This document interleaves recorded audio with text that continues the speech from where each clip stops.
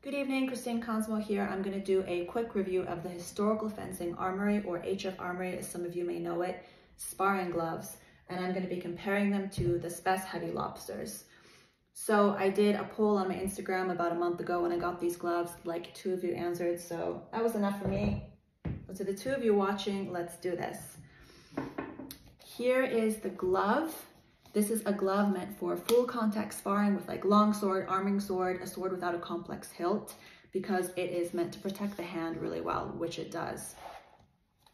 So this is a size small. I am a size seven and a half, um, if that tells you anything. I definitely do not have the smallest hands in HEMA, and initially these smalls were almost too small for me. Like they were a really tight fit and I thought that I should have gone up to the medium. Now that I've worn them in a bit, um, they, they do feel like they're an okay fit. Um, but if they're almost too small for me, that's great because that means that the extra small being even smaller, we're accessing a large segment of the market, which I think have been neglected by HEMA glove producers for a long time now. People with tiny hands there hasn't been good gloves for them. So I'm hoping the extra small in these will access that market um, and, and help them have better sparring and competing experiences. So again, these are the smalls, as I said, really tight fit in the beginning. Um, I was frustrated by them that they were also too stiff, I would say. And I just felt like I could not get a good grip on the sword. I felt like I, it kept falling out of my hand because it was so like slick on the inside. I got annoyed, I abandoned them, I went back to my lobsters. Um, and then I just thought I've got to push through it. So I, like with, you know, those of you who have done ballet point shoes, you have to break them in. I broke these in and now I'm really, really happy with them. So I'm gonna compare these to the lobsters, Spes lobsters. Very similar construction, the um, plastic articulation in the front, I guess these are called lobsters because they look like a lobster back. These are both smalls. Uh, as you can see, this small from Spes is a lot bigger than this small, which means that I, I would argue that they're too big for a small. They're too big for me, who again doesn't have very small hands. So there's some very obvious similarities about them, but there are some very um, pronounced differences as well. I think one of the big ones is the thumb, right? So this thumb needs some work. I know that when I get hit there, it is very painful. From others that I've spoken to, I don't think I'm alone in that experience. This thumb protects really well. I've never experienced any pain getting hit there. I've been using these for about a month now. I do a lot, a lot of sparring. Hand hits are always a target for us. So having good, um, not only hand, but like thumb protection as well is just imperative. Another difference between these is the inner glove. As I said, this is a single mitten. Spes has two fingers, which provides dexterity that does make a difference, especially if you're changing your grip a lot. If you like to feel um, the, the grip and the pommel in your hand, this does make a difference. I wish that these had those two fingers.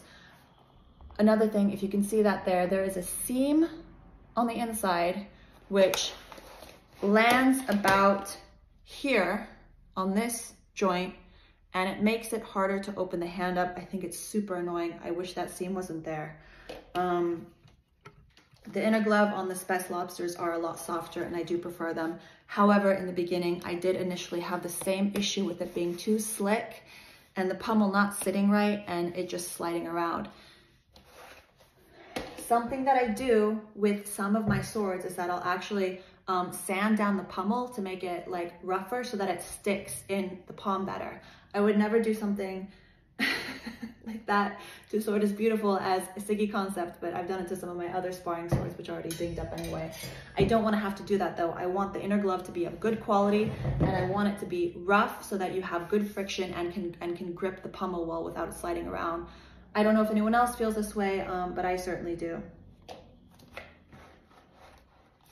Another difference here they both have these like rivets and construction, but I feel like the HF Armory ones have more of them and that the construction is a lot more solid. Like I said, I've been using these for over a month and I get hit in the hands a lot and they are in fantastic condition, as good as when I first got them. In fact, even better because I've worn them in.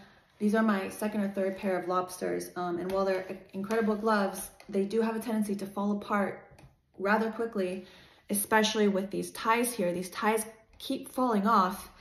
And when they do, I have to replace them with my hair tie and then those fall off and it's just a point of frustration. It makes me have to stop sparring, fix that thing and go back to it. Um, I'd like to see these be a little bit more solidly constructed, especially on the thumb. All right, so another difference here is the wrist part.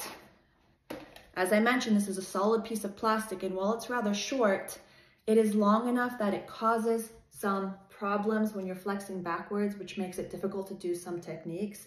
Something that I really don't like about these as well is this opening on the wrist here. So that is potentially dangerous if your jacket doesn't go all the way up to your wrist and it's exposed here and you get a jagged blade there that can be a bad situation. So I don't understand why this is open. Um, that being said, you could make the argument that you should have a good jacket with at least 350 newtons of force resistance or something there protecting your wrist, but it's just, if you're using these gloves, make sure that wrist is covered. So with the Spes, you don't have to think about that because this is longer and it goes all the way around. It's softer, this is leather here. There is some padding on the inside and um, there are some, I think plastic inserts, I'm guessing is what they are, but they're so wide. I mean, if you have small hands, and again, these are size small, then you probably have small forearms. And I just don't understand why you need this much space, even if you have forearm protectors underneath. When I use these, my cross guard keeps getting stuck under there. Um, my opponent's blade gets stuck under there. It's just a point of frustration and I, I don't understand it. I feel like one of these segments could be removed and it would fit a lot better. Right, so um, those are the initial impressions. I do also want to say that that size difference, it, it has um, a real impact when you are sparring or competing and your hands are a target. That larger profile, I do feel like I get hit more on the hands with these than I do with these. And I, I don't want that unnecessary target. It's like you don't want any of your gear to be too bulky. It should lay low against your body, against your hands, and um, minimize the target as much as possible. So I like these gloves. I just wish that they were a lot smaller and a little bit more solidly constructed. So something I also want to say regarding the inner gloves on these is that um, the, the, the best ones, these are just like a gray and I never had any like residue from them. These have been obviously uh, dyed black and whenever I wear them and I'm sparring with them and I'm sweating, my palms are black. And I have to like scrub them with soap for a long time to, to get that color off. And I just don't understand what kind of dye they use or why they use so much of it. Like after a month of use, why are my palms still turning black after I use them? It's just, it's just, it's not great. Um, but that's a small price to pay for an otherwise fantastic glove, right? Like it's fine. I can wash my hands afterwards. I do wash my hands afterwards, but I can do it an extra time to get those, um, that, that dye off. So all in all, I will say that um, despite the lack of dexterity or the maybe reduced dexterity with these gloves, I prefer them to the Spes because I feel like they protect my hands better overall, especially the thumb, and that lower profile makes a huge difference.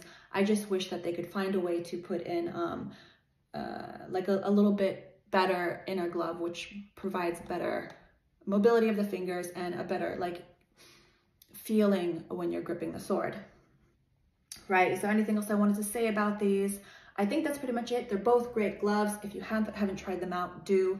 I want to say about Historical Fencing Armory, they're in Ukraine and any chance to support Ukraine we should be taking right now. And it's even great, better that they're a part of our community doing, um, doing HEMA. They had great customer service. When I ordered these gloves, they shipped them out as soon as I made my payment. Any questions I had, they were incredibly quick to respond, very professional, polite which is just massively impressive considering what they're going through right now. So kudos to them.